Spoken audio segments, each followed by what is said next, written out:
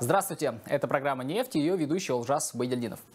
Ну, э, традиционно в конце года все подводят итоги, и в одной из программ несколько лет назад я говорил, э, иногда мы подводим итоги, иногда итоги могут подводить нас. Но э, этот год, конечно же, был очень непростым для и нефтегазового сектора, и энергетики в целом, и мир, и Казахстан. Но в этом выпуске я бы хотел, наверное, ориентироваться больше на какие-то позитивные, на важные шаги в шаги, скажем, достижения в отрасли за этот период не только в нефтянке, но и в целом в энергетике, потому что ну, наша программа уже давно не только нефтегазовая, она больше э, энергетическая. В целом мы в таком фарватере мир, мировой, скажем, трансформации идем, потому что нефтегазовые корпорации сейчас в мире, они переходят на э, следующий, скажем так, этап развития, они становятся энергетическими. Ну и в целом мы уже обсуждали давно и ВИА, и электроэнергию, и атомные станции, которые вот сейчас вы видите да, на, скажем так, заднем фоне, и электро электромобили, то есть весь этот спектр, и углехимию даже в том числе. Ну, то есть практически все, что связано с э, энергетикой в целом. Э, ко мне обращаются уже, конечно же, казахстанские СМИ за комментариями, представить свое видение того, как сложился этот год для нефтегазовой сферы, для нефтегазовой отрасли. Ну и, конечно, вопросы все достаточно такие, знаете, э, связанные с дефицитом топлива, который мы видели, с ростом цен и так далее. Мы этому посвятили очень-очень много программ. Мы это прогнозировали с 2019 года, поэтому мы в этом выпуске давайте не будем говорить про это, иначе ну, мы будем а, в таком в общем ключе, как а, все а, СМИ, программы и так далее. Поэтому мы сосредоточимся на других, более важных, значимых вещах. Ну и, конечно же, а, в первую очередь, наверное, это цены на нефть, которые складывались в 2021 году и которые будут в 2022 году. Интересные вещи здесь происходят, и я хотел бы подчеркнуть кое-какие вещи. Давайте здесь небольшой сюжет посмотрим о том, что сейчас происходит в мире, какие ожидания вот на 2022 год. Неопределенность на нефтяных рынках возрастает. Ситуация с распространением новых штаммов коронавируса сбивает предновогодний оптимизм.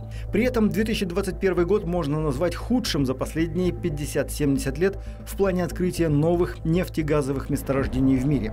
Объем новых открытий по итогам года может составить около 5 миллиардов баррелей нефтяного эквивалента. Нефтегазовая отрасль может столкнуться с масштабным недоинвестированием прошлых лет. Если в предыдущие годы мировые нефтегазовые корпорации инвестировали в геологоразведку 15-16 миллиардов долларов в год, то в 2020-2021 годах этот показатель упал почти в три раза. Глава Halliburton Джефф Миллер заявил, что впервые за долгое время мы увидим покупателя покупателя, который ищет баррель нефти, а не баррель нефти, ищущий покупателя. На этом фоне страны ОПЕК плюс продолжают ступенчатое повышение добычи нефти в соответствии с ранее утвержденными планами. Также не будем обсуждать мы коронавирус и различные его штаммы, как они развиваются, что происходит и так далее. Все-таки этому, наверное, есть более специализированные программы и эксперты. Я скажу лишь о том, что э, в целом и в предыдущие годы, когда падали цены на нефть, и сейчас э, такое понятие, как э, пружина, оно вот сейчас очень важно и, наверное, очень-очень характеризует рынок и то, что сейчас происходит э, в мире. Это нефтяная пружина, о которой мы говорили много раз и в программе, и в материалах. И, кстати, можно посмотреть на InBusiness KZ, то есть все а, аналитический материал, вся аналитика, в том числе там моя есть на портале, ее можно просматривать. А, вот эта нефтяная пружина сейчас она сжимается. И чем дольше, чем больше она будет сжиматься, тем более взрывной рост цен на нефть мы увидим в будущем году. Именно вот эту тенденцию я бы хотел подчеркнуть, а, что 2022 год даже если он не пройдет под знаком, скажем так, роста цен на нефть, потому что вы видели, трехзначные сейчас цифры э, прогнозируют, там выше 100 долларов за баррель могут быть, кто-то говорит, нет, мы увидим там 50 долларов. А, не суть важно, какая цена будет средняя по году в 2022 году. Важно то, что инвестиции в нефтегазовый сектор а, падают очень быстрыми темпами, падают из-за того, что есть ценовая неопределенность. И чем больше и чем дольше они будут падать, тем вот эта пружина будет больше закручиваться, сжиматься и выстрелит потом в виде такого взрывного роста цен а, на нефть. Вот э, мы привели здесь э, слова э, главы Халибертон Джеффа, Джеффа Миллера, да, говорит, что, ну, он говорит, возможно, в 2022 году не баррель, то есть не нефть будет искать покупателя, а покупатели будут на рынке искать нефть, потому что будет ее дефицит. Вот а, эти цифры, они очень важны. Мировые инвестиции в геологоразведку снижаются, в новые проекты снижаются, и это все приведет к тому, что мы ну вот так же, как и по газу сейчас в Европе, да, увидим какие-то вообще аномальные цены на нефть. Вполне это возможно. И если смотреть и э, ориентироваться, скажем так, на спекулятивные какие-то ставки, сейчас действительно большое количество спекулятивных ставок, э, ставок на то, что э, цены на нефть превысят 100 долларов за баррель в 2022 году. Возможно, в какие-то периоды мы будем приближаться к этим ценам. Естественно, для нас, как для нефтедобывающей страны, это неплохо, скажем так, хотя э, в целом для развития отрасли нужны не вот какие-то скачки да, высоких или низких цен, нужны стабильные цены, чтобы можно было прогнозировать ситуацию и э, осуществлять, скажем так, какие-то инвестиционные проекты. Ну, по миру вот это основное, что хотелось бы сказать по ценам. А, год 21 прошел хорошо для нефтяных цен. Начинался примерно он с 50-52 долларов за баррель. Сейчас мы видим где-то в районе там 70, 75, 80. То есть в целом это достаточно комфортный уровень для нефтедобывающих государств. Но для Казахстана, вы знаете, точка безубыточности, она в среднем по отрасли около 40-50 долларов за баррель. А в 2019 году саудовская компания Сауди Арамка приводила цены, и сухопутные проекты в э, Казахстане, они оценивались, их э, точка безубыточности, то есть когда все равно нулю, скажем, да, чтобы вот окупить затраты капитальные и так далее, она составляла где-то 51 доллар за баррель. Ну, то есть 46-51 вот такой был для наземных и морских проектов. Вот этот уровень в целом, который сейчас в мире, он для Казахстана достаточно комфортен. Нефть, добыча нефти в Казахстане, она восстанавливается, несмотря на то, что мы присоединились к соглашению ОПЕК+, и снизили снизили э, добычу. Мы в 2020 добывали меньше, чем в 2019. В 2021 мы чуть меньше, чем вот в допандемийные периоды. В 2022 прогнозируется, что мы восстановим цены, э, что мы восстановим добычу вот на месторождениях э, до э, такого до пандемийного уровня. Ну и мы плавно переходим к Казахстану о том, что происходит здесь, э, какие главные события. Э, тоже небольшой сейчас э, посмотрим сюжет. Ну и, конечно же, на, наверное, самое главное достижение Казахстана за этот период это то, что мы совершили очень большой рывок, очень э, такой долгий-долгий шаг, наверное, если его так можно сказать, в нефтегазохимии. Ну давайте небольшой сюжет об этом. Для энергетики Казахстана год прошел под пристальным вниманием населения и бизнеса.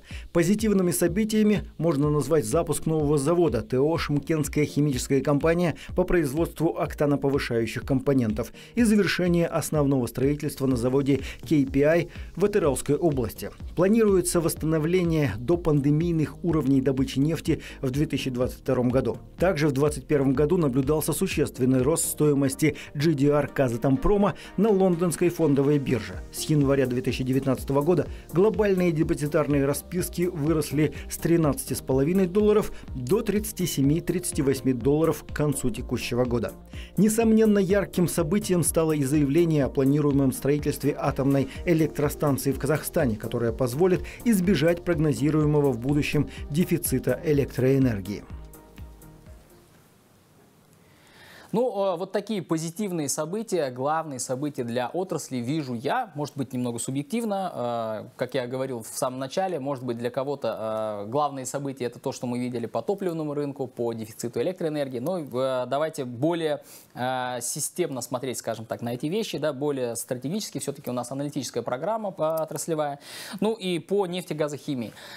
Буквально осенью, и вот мы сейчас показывали, э, была программа о Шимкентской химической компании, это новый нефтегазохимический комплекс, завод, который будет производить э, октаноповышающие компоненты вблизи ПКОП, ну и, соответственно, сырье будет поступать с казахстанских месторождений, небольшое скажем так, производство относительно суммы инвестиций, там, но достаточно существенный такой шаг в плане нефтегазохимии. И второе, это, конечно же, завершение основных строительных работ на заводе KPI, Казахстан Petrochemical Industries, это в Атырау. А, большой проект, 2,6 миллиарда долларов объем инвестиций в него, 500 тысяч э, тонн полипропилена будет производить после э, запуска, завершения там пусконаладочных работ. Ну, ожидается, что это в 2022 году произойдет. А, долго, конечно же, его строили, а, много вокруг этого сломано копий, много об этом было написано, но самое главное, что этот проект все-таки реализовали. Он в 2019 или, если не ошибаюсь, в 2018 году перешел в управление Казмунайгаз, до этого был в других, в других структурах, структурах э, холдинга «Самрук-Казна». И сейчас этот проект на финальной стадии, э, завершаются работы, э, Затем будет пусконаладка, ну и потом будут получать первую продукцию. Это очень большое достижение а, для нефтегазохимического комплекса, для нефтегазохимического комплекса Казахстана. Действительно, в этом плане э, Казахстан отставал от соседних государств. Если посмотреть а, наши передачи, наши архивы, мы, в принципе, наверное, с момента выхода этой программы, с 2016 года, говорили о том, что вот этот сектор необходимо развивать. Это то, что даст э, будущий прирост и экономики, и нефтегазохимии Казахстана, и в целом а, избавить, скажет нас, от вот такой сырьевой направленности, да, некоторого экспорта, потому что из нефти и газа можно получать очень большое количество продуктов. Эту э, цифру я много раз повторял. Если вы сейчас оглянетесь вокруг себя, то 4 из 5 предметов, которые вас окружают, это продукты нефти, газохимии. Пластмасса, все, что связано с электроникой, все, что связано там с машинами и так далее. Вот все это производится из нефти и газа, и вот эти производства начинают появляться в Казахстане. А, за это время, там, ну, скажем так, за 20 лет, да, а, такие нефтегазохимические комплексы появились новейшие в России, там, в Татарстане, в Башкортостане, в других регионах. Ну, там, я имею в виду Татнефть и Башнефть, в первую очередь, они а, в целом аналогичны, схожи по структуре с Казмунайгазом.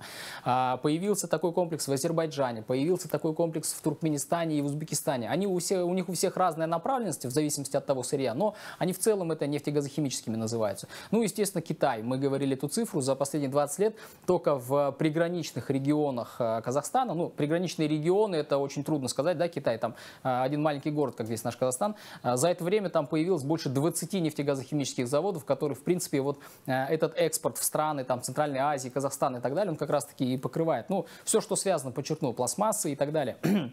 даже там ароматика и так далее, это тоже нефтегазохимия. И в Казахстане, э, ну, наконец-то, это сейчас крылатая фраза, да, наконец-то ее, можно сказать, и здесь э, запущены, готовятся к запуску новые нефтегазохимические проекты. В целом у нас э, в планах у Министерства энергетики и частных инвесторов порядка 8 проектов э, в этой отрасли, в нефтегазохимии. Ну и эти цифры мы также говорили. А, одно рабочее место в нефтегазохимии создает по цепочке где-то 3-4 рабочих места в смежных отраслях. Это производство, которое начинает вокруг этого а, основного, скажем так, завода да, появляться. Ну и а, добавленная стоимость, она может в 7-8 раз выше, чем просто экспорт нефти. Вот такие заводы, и это, возможно, сейчас в череде вот таких новостей о том, что вот все было плохо, там кто-то стоял в очереди на заправках и так далее. Это, конечно, может затеряться, но наша цель, наша задача все-таки говорить о развитии отрасли, отрасли, и отрасль развивается. Это самое главное.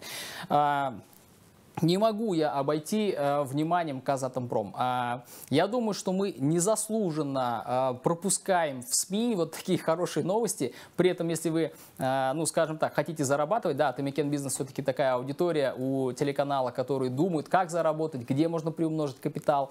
Э, капитализация, ну, капитализация, ладно, не будем говорить. Э, GDR, глобальной депозитарной расписки Казатомпрома, с января 2019 года выросли э, в три раза вот к концу 2021. Э, а, за три года в три раза выросли. Это долларовая цена GDR, это то есть не э, там тенговый эквивалент или какой-то. Вот, то есть 10 тысяч долларов, вложенные в акции Казатомпрома в 2019 году, в январе, дали бы прирост в три раза, 30 тысяч долларов можно было бы получить на этих акциях. Где и кто об этом говорит? Вы встречали это в СМИ? Я нет. Но э, понятно, что это достаточно такая специфическая тема, да.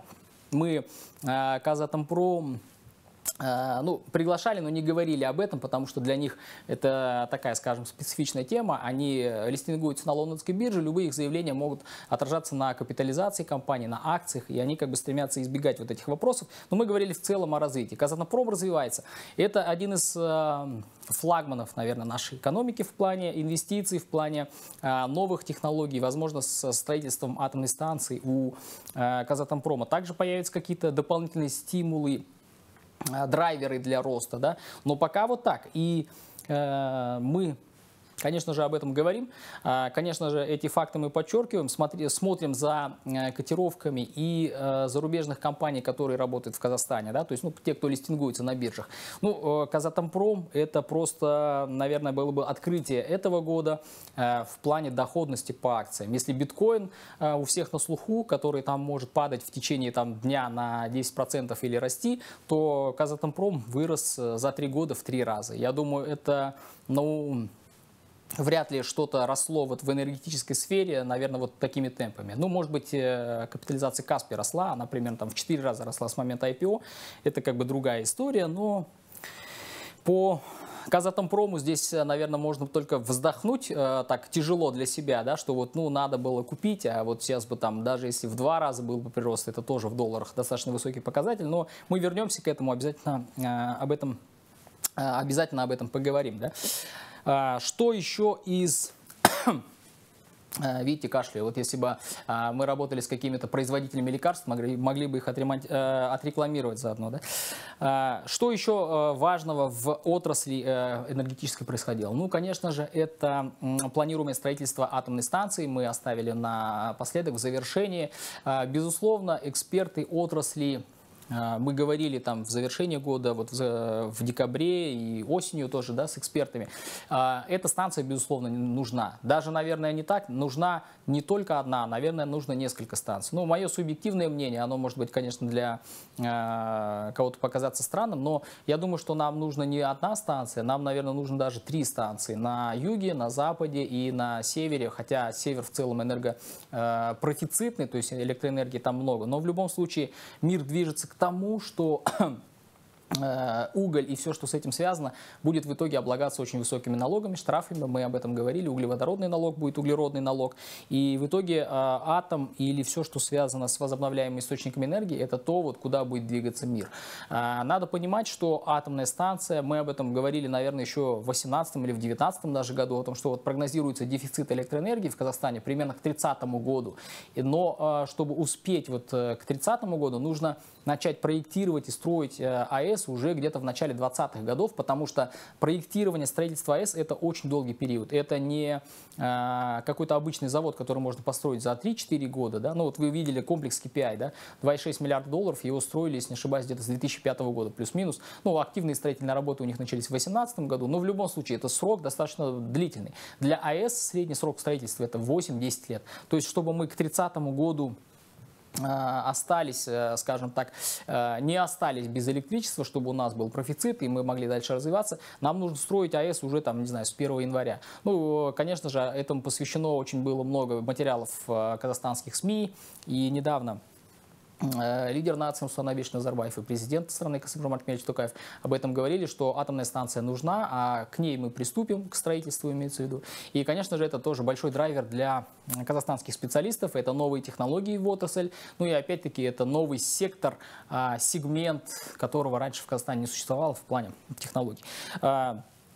По нефтегазовому сектору и еще одним а, важным фактором, наверное, в самое завершение оставим, наверное, это завершающиеся а, работы на Тенгизе. Проект будущего расширения Тенгиза – это 45 миллиардов долларов инвестиций. А, в 2022-2023 году закончится вот этот проект, завершится, то есть его реализация. И после этого Тенгиз, это крупнейшее месторождение Казахстана, начнет добывать порядка 900 тысяч баррелей в сутки. В мире добывается порядка 95-97 миллионов миллионов баррелей в сутки. То есть а, один Тенгиз будет давать порядка 1% от всей общей мировой добычи. Это крупнейшее месторождение, это, безусловно, крупнейший проект, и это самый крупный проект на территории СНГ за последние годы, который был реализован. Не просто там в Казахстане, в Центральной Азии, а в целом в СНГ. И, э, наверное, даже если с миром сопоставить, он, наверное, будет там, скорее всего, в топ-10 э, вот таких крупных проектов. Безусловно, вызовом станет то, что э, высвобождаются рабочие с этого проекта. Эти новости вы, наверное, видели. Порядка 20 тысяч человек высвобождаются со строительных работ. Э, куда-то, конечно же, нужно будет их устраивать. Здесь э, нужна, конечно, работа местных исполнительных органов и компаний. И, э, ну, а позитивно то, что Тингис выходит на такие уровни. У нас есть эти ресурсы, мы можем с ними работать, потому что коэффициент и показатель э, локальных кадров, национальных кадров в этом проекте, он достаточно высокий. И казахстанские специалисты сейчас могут работать и работают на крупнейших мировых э, зарубежных проектах. Это, конечно же, большая школа для наших специалистов. Ну и, конечно, этот проект э, будет драйвером того, как будет расти наша добыча, налоговые поступления с отрасли. Ну, давайте на этом завершим. У нас получилась, наверное, такая позитивная передача, да, мы все вот такие острые моменты обошли стороной, но о них будет много сказано в других программах и в других СМИ, не будем повторяться. А, отрасль развивается, несмотря на то, что был достаточно трудный период, мы видим, что и нефтянка, и нефтегазохимия, и электроэнергетика, вот все, в принципе, базовые отрасли, которые нужны стране, а, все они развиваются, и у всех, во, во всех этих отраслях а, есть определенные достижения. Это, конечно же, радует, ну и давайте а, пожелаем нам всем, чтобы 20 2022 год прошел под таким знаком восстановления, чтобы мы возвращались э, к привычной э, к привычной жизни, а цены на нефть чтобы росли и, безусловно, чтобы наша отрасль и наша экономика развивалась. Всех с наступающим!